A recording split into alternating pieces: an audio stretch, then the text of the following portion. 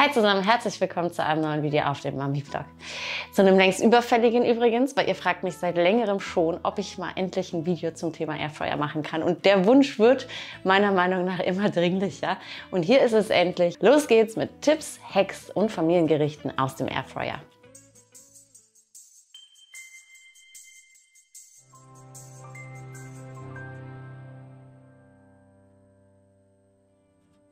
So, also mein Mann Heiko hat den Airfryer seit längerer Zeit schon zu 100% für sich entdeckt. Und so lecker sieht tatsächlich dann auch eins seiner aktuellen Frühstücke daraus aus. Also ich muss sagen, mich begeistert der Airfryer langsam auch immer mehr, weil es das einfache Kochen tatsächlich irgendwie revolutioniert. Also ich stehe noch am Anfang meiner ersten Tests damit und ich gebe zu, dass der ein oder andere Snack jetzt nicht wirklich perfekt lecker aussieht. Aber geschmeckt hat tatsächlich alles und das reicht mir erstmal. Den größten Vorteil, den ich in der Heißluftfritteuse sehe, also ich brauche nicht mehr mir den kompletten Ofen anzuschmeißen, wenn ich jetzt morgens beispielsweise Mini-Laugengebäck mal in die Brotdose packen will oder einen schnellen Nachmittagssnack für meine ausgehungerten Kinder machen möchte. Laugengebäck als Beispiel jetzt. Also man legt es einfach rein, überstreut es eventuell noch mit Käse und sie sind in 10 Minuten fertig. Warm, weich und lecker, genauso wie sie sein sollen. Und weil der Airfryer so klein ist, braucht er halt nur so zwei bis drei Minuten, bis er auf der richtigen Temperatur ist. Und damit spart man nicht nur Energie und Geld, sondern eben auch Zeit. Und die Snacks, die da rauskommen, sind auch noch allesamt allesamt lecker. Also man kann es eigentlich kaum versauen. Es ist wirklich ziemlich verblüffend. Also ich habe mir für dieses Video mal so ein paar einfache Snackhack-Beispiele rausgesucht, die ich darin einfach ausprobieren wollte. Und alles hat echt auf Anhieb verstanden. Lecker. Aber ich starte zuerst so mit Heikos Expertise. Und zwar seine mittlerweile schon länger eingeübten Omelette zum Frühstück. Also der schlägt dafür immer zwei Eier in die Form und gießt mit so ein bisschen Eiklar auf. Das ist jetzt so ein Männerprotein-Ding, das muss man natürlich nicht machen. Zwei Eier reichen auch. Und dann packt er sich Gemüse dazu, das er im Kühlschrank findet. Also hier war das jetzt so ein bisschen Frühlingszwiebel, Paprika und äh, weiß ich nicht, ein bisschen Schinken. Und dann kommt noch geriebener Käse oben drauf. Schön gut würzen und umrühren und dann ab in den Airfryer-Korb und circa 13 Minuten bei 200 Grad vor sich hin backen lassen. Also man kann den Korb jederzeit mal rausziehen, sollte man auch und schauen, was sich so getan hat. Aber das ist fast immer eine sichere Nummer. Also nach 13 Minuten ist das Omelett einfach fertig. Sieht so aus. Schmeckt jedem hier in der Familie tatsächlich sehr gut oder hat jedem gut geschmeckt. Also kann man überhaupt nichts dagegen sagen. Es ist gesund gesund, es ist lecker, ist ein super Männerfrühstück. Ist natürlich nur wörtlich abgestimmt auf die Szene. Hier ist auch für alle anderen lecker.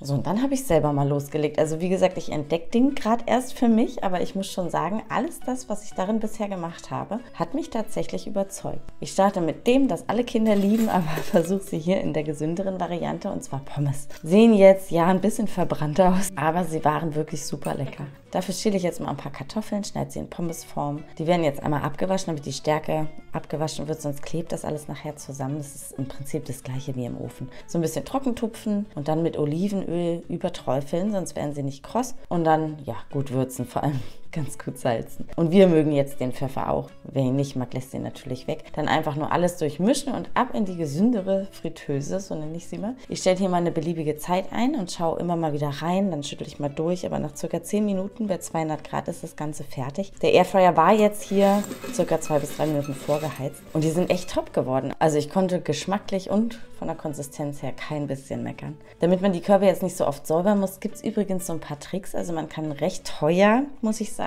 solche Backpapierschälchen kaufen. Das hat Heiko mal gemacht, aber dazu muss ich sagen, das muss nicht sein. Erstens fällt dabei viel Restmüll an, den man nicht braucht. Und zweitens kann man sich das Geld wirklich sparen. Also stattdessen kann man entweder Silikonbackformen benutzen. Unsere Mami-Brotbackform habe ich hier zufällig entdeckt, weil ich sie halt da hatte und sie zufällig genau da reinpasste. Oder man verwendet statt der teuren Form einfach Backpapier. Also hier reicht ein Zuschnitt ziemlich genau für vier Gerichte aus. Klar, auch damit hat man den Restmüll, aber sehr viel weniger als mit diesen Formen und man spart eben viel Geld. Jedenfalls, wenn man den Airfryer öfter benutzt. Ja, nach den ganz gelungenen Pommes habe ich mich direkt dann mal hochmotiviert an einen unserer nächsten Lieblingssnacks gemacht. Ich habe ihn längere Zeit nicht mehr gemacht, weil ja, um den Ofen anzuschmeißen, lohnt sich halt nicht so wirklich, finde ich. Aber Kichererbsen sind so mega gesund. Voller guter Nährstoffe, Proteine und Vitamine. Und der Snack ist einfach ein super leckerer Chipsersatz und schmeckt uns allen auch wirklich gut. Und das jetzt auch bei geringem Energie- und Zeitaufwand aus dem Airfryer. Also sehr cool. Dafür wird mal sofort eine Dose Kichererbsen geöffnet, über fließendem Wasser gut abgewaschen und die Kichererbsen ein bisschen trocken getupft. Ist immer gut, dann haftet das Öl besser dran. Und davon brauchen wir hier auch wieder ein bisschen was. Ich habe so einen Esslöffel hier rangegeben. Dann wieder schön salzen. Kichererbsen puffern echt gut, also da kann man schon so ein bisschen was dran tun. Paprikapulver kommt noch dazu, Knoblauchpulver, wer es mag, also wir lieben es und er geht auch stark unter, also ruhig dran damit. Und dann noch ein bisschen Pfeffer, also eigentlich ähnlich wie bei den Pommes. Und dann kann auch dieser unfertige Snack nach dem guten Durchmischen in den Airfryer wandern. Ich stelle hier wie eigentlich immer 200 Grad ein. Ich muss sagen, man merkt bei dem Gerät recht schnell, wenn man immer mal wieder reinschaut, ob die Temperatur stimmt und wie viel Zeit es ungefähr noch braucht. Also man kommt da relativ schnell rein. Und ja, was soll ich sagen? Auch wenn er wegen seiner Lernaufgaben nicht besonders erfreut aussieht, so viele Kichererbsen auf einmal habe ich ihn noch nie in sich reinschaufeln sehen. Und beim Lernen kann es eigentlich nur helfen. Sehr schön. Jetzt kommt ein Snack, der irgendwie echt nicht so lecker aussieht und irgendwie auch unfertig, aber war er nicht. Also es geht um frittierte Pilze, mm. einfache Champignons. Auch wieder mit ein bisschen Öl umnetzt und gewälzt in einer Gewürzmischung aus Salz, Knoblauchpulver, Zwiebelpulver und dann noch ein bisschen Mehl und Stärke. Also die genauen Mengenangaben zu den Snackrezepten hier liste ich euch in der Infobox gerne unter dem Video nochmal auf, also falls ihr die mal ausprobieren wollt. Auf jeden Fall werden jetzt die Champignons darin durchgemischt. Das war hier so ein bisschen viel Panade geworden. Ich habe den Rest der Panade hier noch abgeschüttelt, bevor ich die Pilze dann in den Airfryer gegeben habe. Das passe ich in den Mengenangaben dann an. Dann habe ich sie eine Runde da drin gelassen. Wie gesagt, man kann wirklich nicht viel falsch machen, wenn man ab und zu mal checkt, wie es aussieht. 200 Grad und 20 Minuten sind immer schon mal voreingestellt, hier an diesem Gerät jedenfalls. Und das passt ganz oft, also es ist wirklich einfach. Und so werden die frittierten Pilze. Also die waren innen saftig und echt lecker und außen kross, knusprig, echt schmackhaft. Also wirklich nicht so, wie sie aussehen. Mit einem Knoblauchdip dazu, wirklich der Hammer. Die Kinder waren leider noch nicht zu Hause, die konnten es nicht testen, aber Heike und ich haben liebend gerne sofort alles aufgefuttert. Mhm. So, der nächste ist jetzt dann genau mein Geschmack. Ja, ich suche mir hier immer so fürs Video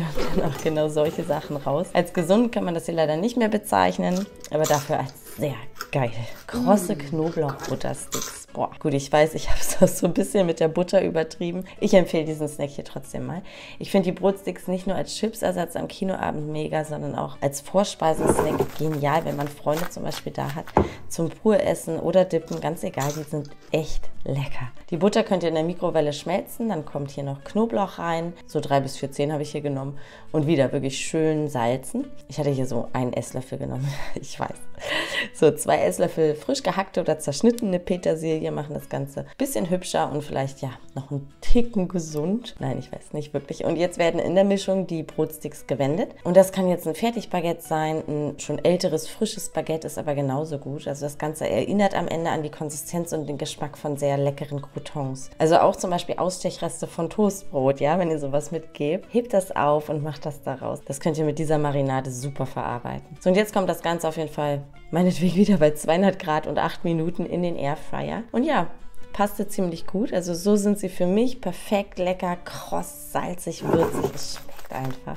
Danach habe ich mich dann gefragt, weil das ist für mich ein ähnlich perfekter Kinoabendsnack, ähm, ob nicht auch Nachos überbacken mit Käse hier im Airfryer funktionieren. Soweit gedacht und schon reingeschüttet. Ich habe ein bisschen viel Nachos genommen, muss ich sagen, und ein bisschen zu wenig Käse. Hier jetzt definitiv mehr gebraucht, aber macht jetzt auch nichts. Also der Snack war so fix warm, knusprig und käsig und mit einer schnellen Guacamole eine super Sache, die ich definitiv am nächsten Heimkinoabend mal wieder mache. Dazu muss ich allerdings sagen, das hier sind auch die weltbesten Nachos, die wir kennen. Einfach so aus der Tüte auch schon süchtig machen. Aber das ist echt 10 von 10. Echt. Ja? Gut, den nächsten Snack hat sich Janik gewünscht. Und klar, man kann das vielleicht genauso gut und schnell im Bock machen. Aber auch das klappte im Airfryer tatsächlich gut. Das wollte ich deshalb auch mal zeigen. Also einfach Sojasauce, ein bisschen Mirin, ein bisschen Sesamöl gemischt mit Wasser in den Korb geben. Dann die Mienudeln reinlegen und Gemüse nach Wahl einfach draufschütten. Ich habe jetzt hier Zuckerschoten genommen. Das war nichts. Die waren so ein bisschen zu empfindlich. Die waren dann so ein bisschen angebrannt. Also nehmt so ein bisschen unempfindlicheres Gemüse, meinetwegen Champignons oder vielleicht einfach Edamame. Aber sonst auch einfach wieder ein einstellen, köcheln lassen, ab und zu mal umrühren und fertig ist das Asia Pfannengericht. Also Yannick mochte es. Für kleinere Kinder kann man übrigens die Mienudeln super einfach in Gemüsebrühe kochen und noch Erbsen, Mais und Möhren dazugeben. Also das Gericht liebt Lia seit Jahren und auch das funktioniert im Airfryer. Und zum Schluss kommt mein Kontra gegen Heikos Omelette vom Anfang noch. Also das hier kann von mir aus auch öfter mein Einstieg in den Tag werden. Ich habe hier mal einfach zwei Toasty-Hälften reingelegt, den Rand mit so ein bisschen Käse bestreut und in die Mulden dann jeweils ein Ei geschlagen. Zehn Minuten im Airfryer Airfryer. Auch das war nach dem Würzen echt ein Knaller. Und wenn der Airfryer dann irgendwann mal sauber gemacht werden muss, meistens kann man die einzelnen Teile einfach in den Geschirrspüler packen. Aber wenn die Zeit nicht da ist oder man vielleicht auch gar keinen hat, hat auch dieser Tipp gut funktioniert. Ich habe heißes Wasser mit Spülmittel in die schmutzigen Formen gegeben, die Körbe wieder zurück ins Gerät gestellt und den Airfryer nochmal für 10 Minuten angestellt. Und hier löst sich schon ziemlich viel ab, dass man dann einfach ausschütten kann und der aufgeweichte Rest drumherum kann jetzt ziemlich einfach mit dem Schwamm sauber geschrubbt werden. Das war es auf jeden Fall erstmal mit meinen ersten Testungen und Erfahrungen am Airfryer. Es hat mich alles überzeugt, muss ich sagen, und ich freue mich auf mehr. Falls ihr mehr von sowas sehen wollt, gebt mir gerne Bescheid. Ich sage Tschüss und bis bald. Das war's, ihr Lieben. Ich hoffe, ihr konntet was mitnehmen. Wer noch gute Tipps hat, schreibt sie gerne in die Kommentare unten rein. Das wird sehr spannend. Ich sage Tschüss und bis zum nächsten Video.